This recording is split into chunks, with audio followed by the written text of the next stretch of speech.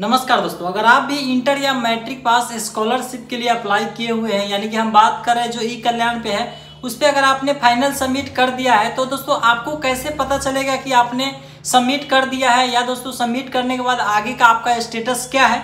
क्योंकि दोस्तों बहुत सारे लोग हमें मैसेज करके पूछ रहे हैं कि सर हमने फाइनल सबमिट कर दिया है तो फिर हमें कैसे पता चलेगा हुआ या नहीं हुआ आवेदन या क्या हुआ? तो इस वीडियो में डिटेल्स में इसी के ऊपर हम चर्चा करने वाले हैं। कि आपका आवेदन करने के बाद आगे जो है क्या सच में आपका आवेदन हो चुका है या नहीं हुआ है, क्या फिर से करना पड़ेगा? बहुत सारे डाउट्स है तो इस वीडियो में आप डिटेल्स में जानेंगे कैसे आपको चेक करना है कि आपका आवेदन हुआ है या नहीं हुआ है। मैट्रिक इंटर दोनों के बारे में बताने वाले हैं। तो चलिए दोस्तों, बिना देरी किए वीडियो स्टार्ट करते हैं। उससे पहले वीडियो अच्छा लगे लाइक कर दीजिएगा और चैनल पे पहली बार आए हैं तो चैनल को लाल बटन दबा के सब्सक्राइब करके साथ में बेल आइकन को प्रेस करके ऑल कर दीजिएगा, ताकि जब भी मेरा वीडियो आगे से आए तो सबसे पहले आपको नोटिफिकेशन मिल सके। दोस्तों, हमारे वीडियो के डिस्क्रिप्शन बॉक्स में मैट्रिक और इंटर दोनों का लिंक मिल जाएगा, जहाँ पे आपको मैट्रिक लिंक लिखा होगा एक जगह पे, एक जगह पे लिखा होगा। इंटर का लिंक। तो दोस्तों, दोनों जिस भी जो भी आपने आवेदन किया है तो दोनों लिंक सेम है, आप चले आइएगा। यहाँ पे दोस्तों, इसी पोस्ट के माध्यम से हम आपको सारा जानकारी समझाने वाले हैं। तो सबसे पहले दोस्तों, दोनों में से किसी भी पोस्ट जिसमें भी आप चेक करना चाहते हैं नीचे स्क्रॉल कीजिएगा। यहाँ पे आपको क्विक लिंक मिलेगा, सबसे नीचे आएँगे तो। तो सबसे फ़र्स्ट वाला लिंक आपको ओपन करना है, check your name in the list. दोस्तों, ये लिंक आपको मैट्रिक में भी और इंटर दोनों में मिल जाएगा। आप यहाँ पे आएँगे तो देख सकते हैं, इसमें भी यहाँ पे लिंक है, check your name in the list. इसी वाले पे आपको क्लिक करना है। जैसे आप क्लिक करेंगे तो इस तरीके का इंटरफेस आएगा। आपको हम दो तीन लिंक से आपको चेक करके बताने वाले हैं कि आपका आवेदन कहाँ है, क्या हुआ, नहीं हुआ। तो इसलिए लास्ट तक बने रहिएगा। सबसे पहले आप अपना कॉलेज का डिस्ट्रिक्ट सेलेक्ट कर लीजिएगा, जिस भी डिस्ट्रिक्ट में है। उसके बाद यहाँ पे आपको अपना जो है कॉलेज का नाम, जिस भी कॉलेज में आपने मैट्रिक किया है या इंटर किया है, उसका नाम सेलेक्ट करके और यहाँ पे व्यू वाले बटन पे क्लिक कीजिएगा। क्लिक करने के बाद दोस्तों, आपके कॉलेज में जितना भी स्टूडेंट होगा, इस तरीके से आपको लिस्ट आ जाएगा। और यहाँ पे दोस्तों, क्या है?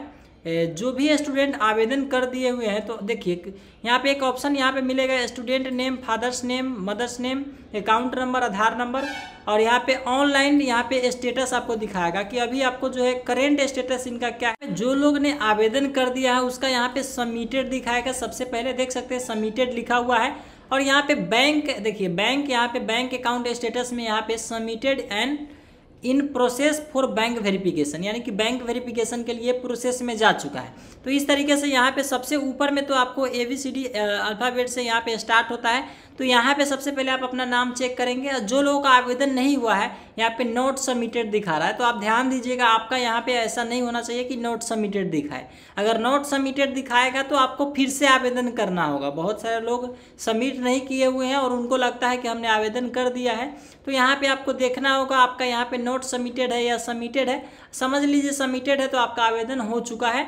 मैट्रिक इंटर दोनों के लिए हम आपको बता रहे हैं। तो इसलिए वीडियो को समझिए लास्ट तक।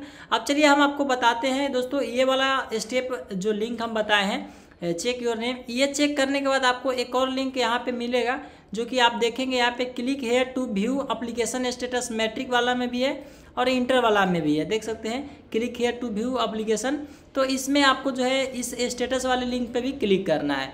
क्लिक करने के बाद इस तरीके से आपको जो है अपना रजिस्ट्रेशन नंबर मैट्रिक हो तो मैट्रिक वाला और इंटर हो तो इंटर वाला। दोनों में से जो भी आपका है आप यहाँ पे आप अपना रजिस्ट्रेशन नंबर भी डाल दीजिए रजिस्ट्रेशन नंबर डाल के आपको सर्च वाले बटन पे क्लिक करेंगे। जैसे आप क्लिक करेंगे तो आपके सामने दोस्तों यहाँ पे सबसे पहले स्कूल नेम स्टूडेंट नेम उसके बाद दोस्तों यहाँ पे बैंक में जो नेम है वो आ जाएगा फादर्स नेम उसके बाद आधार नंबर हो गया मोबाइल नंबर ये सारा चीज़ आ जाएगा। अकाउंट स्टेटस यहाँ पे दिखाएगा अकाउंट रजिस्टर्ड ऑन पीएफएमएस और उसके बाद दोस्तों यहाँ पे आपको वेरिफिकेशन स्टेटस दिखाएगा। और यहाँ पे फाइनलाइज आपने किया है या नहीं तो दोस्तों यहाँ पे डेट यस लिखा हुआ होगा और डेट भी लिखा हुआ इससे भी समझ लीजिए कि आपने इस डेट को अप्लीकेशन सबमिट कर दिया है। उसके बाद यहाँ पे अप्लीकेशन पेमेंट स्टेटस में इन प्रोग्रेस दिखा रहा है इन प्रोग्रेस तो यहाँ पे आपको प्रोसेस में ये चला गया है पेमेंट के लिए। तो इस तरीके से दोस्तों मैट्रिक इंटर दोनों का स्टेटस आप चेक कर पाएँगे। वीडियो अच्छा लगे लाइक कर दीजिए और कोई भी डाउट्स है, नीचे कमेंट करके पूछ सकते हैं। चलिए आपसे मिलते हैं किसी और वीडियो में, तब तक के लिए धन्यवाद।